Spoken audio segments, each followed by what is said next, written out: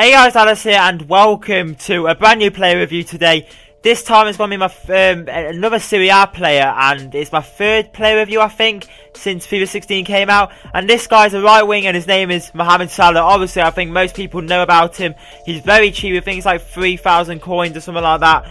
And um, he's got a mix of pros and cons. Like um, on the other one, I had mostly cons, uh, mostly pros. But this guy, it was good, but then it, in some areas he did lack a lot. Um, I'll get into the post straight away. First of all, best thing about him is definitely his pace. Like every time you get him, just run, and eventually you'll get to the goal without the defender even touching you. That's how good he is. Um, Next of all, you got him playing on the right wing, and he's got a left foot, which is just brilliant. That's my style of play. I'm not sure if uh, other people play like that, where you cut in, you can actually duel around players until you get to goal, then have a shot with your left foot, and it just dips instantly, which I love about him. Some players like Robin, is just terrible for it, because you're playing on the right mid, and you've got uh, a right footer with two star weak foot, so you can't use your left foot at all, which that's the reason I don't really like Robin that much. Also, you got him, um, his dribbling and control, which links to playing on the right wing, cutting with his left foot. This is the thing I always do, um, especially when you run in inside, like you run in and uh, aim for the goals.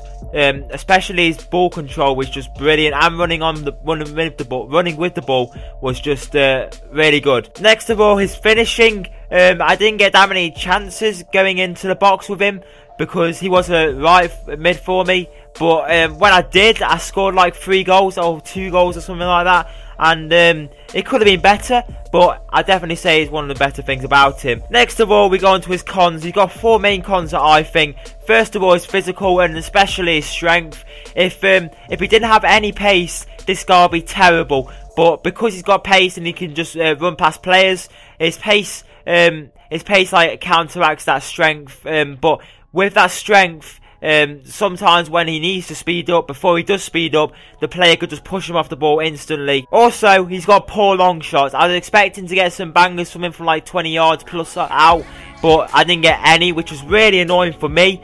I, I was expecting uh, some decent uh, like compilation goals, but I got nothing from it. I got some skill goals, which was good.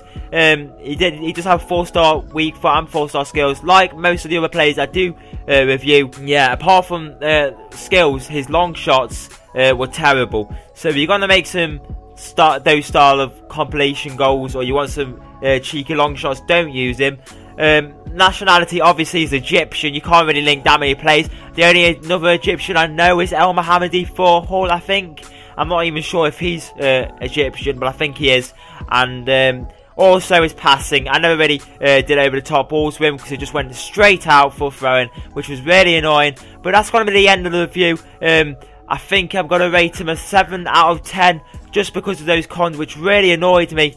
But then, um, apart from that, it was fine really, especially his pace. And I loved using his pace, especially on the wing. So I hope you enjoyed. Please like, subscribe, and peace.